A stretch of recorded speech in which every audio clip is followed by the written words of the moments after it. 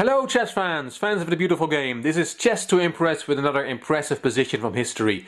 This is a blood, sweat and tears game. This is a game of 124 moves between Viktor Korchnoi, white and Anatoly Karpov, black. The fifth match game of the World Championship match in 1978 held on the Philippines. It is the 27th of July 1978 and also the days after because the, this game got adjourned twice. It was also Korchnoi's second anniversary of fleeing from the Soviet Union to the West and so it was a big day for him and it looked like he was going to score his first win in the match. The score is 2-0 after 4 draws in the first 4 games and this is game 5. Let me tell you the story. This is the, position after the 42nd move from Korchnoi, rook e1 to h1. This was the adjourned position. You can see both parties have queen, rook and five pawns. And white is a bishop pair versus black has the knight pair. The bishop pair tends to have an advantage in those type of positions and it's no different this time. White is better and the analysts the journalists were quite optimistic about Korchnoi's chances to win this game. Karpov had to seal his move and he sealed the move knight h7. And he had a big advantage with this because he knew that this move was going to be the next move while Korchnoi had to look at all the alternatives and there are quite a few alternatives in this position.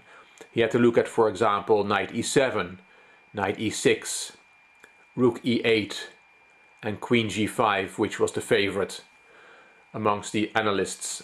All those moves make sense and Korchnoi had to look at all of them while Karpov's team could focus on the positions after knight h7 and that helped later because Korchnoi got into time trouble and we'll see that now. Let's move to the 52nd move and white has won a pawn and the rooks are swapped.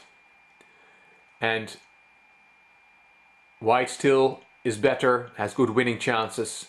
And Karpov here, speculating on Korchnoi's time trouble, decided to make a run for uh, with his king to the queen side to find shelter there. Let me show you the few a few moves. King f7, bishop g6, and now king e6.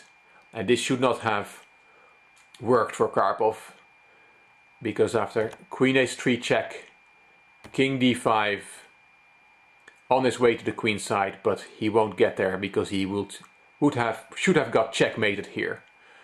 The checkmating sequence is quite forced, but Korchnoi had no time to calculate it.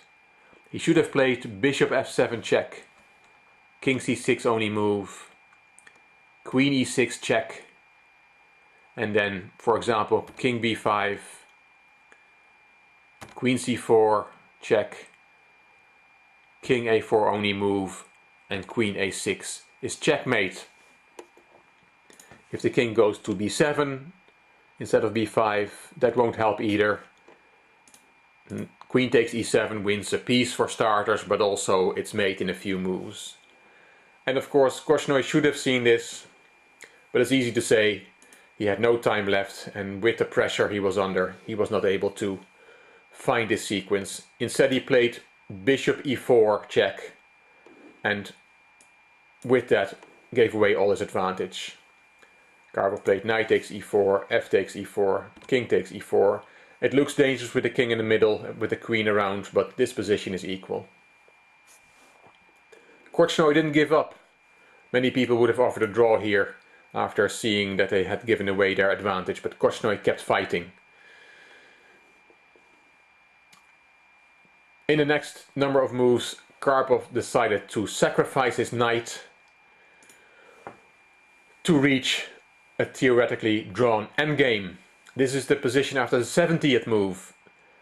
Karpov had sacrificed that knight and now he takes the pawn on b5 and white is left with the pawn on a3 and the bishop of the dark squares. This is a theoretically drawn position because the queening square of the a-pawn is a light square, while the bishop is of the dark squares. And if the king can reach the a8 square, it is a draw. Still Korchnoi played on because there are two things he can play for. He can try to keep the king out of the corner or he can, through stalemate ideas, get black to move the b-pawn up the board and if the b-pawn goes to b4 then white can play a takes b4 which makes the e-pawn into a b-pawn and then the position is easily winning. So that is what Korchnoi then tried and tried and tried for many, many moves. This is the position of the second adjournment after king h5. As you can see, Korchnoi has been able to drive Karpov's king away from the square a8 and he is still trying to win his position. But it didn't work. Let me show you the position after the 106th move. Here, Korchnoi gave up his attempts to force Karpov to play b5, b4. He took the pawn on b5 and still tried to win this position by keeping the corner out of a8 and collecting the a4 pawn at the same time. It didn't work. This is the position after the 123rd move, king h7 and Korchnoi finished the game off by bishop g7, stalemate. An incredible struggle over three sessions and 124 moves, but not a draw, two and a half, two and a half, and a long way to go because the first to win six games would win the match. A lot more adventures, a lot more incredible, impressive positions, which I will show you in future videos. Hope you enjoyed this. If you did, please give it a thumbs up and please subscribe so you will be notified when I post my next video. This is Chess to Impress. Thank you for watching.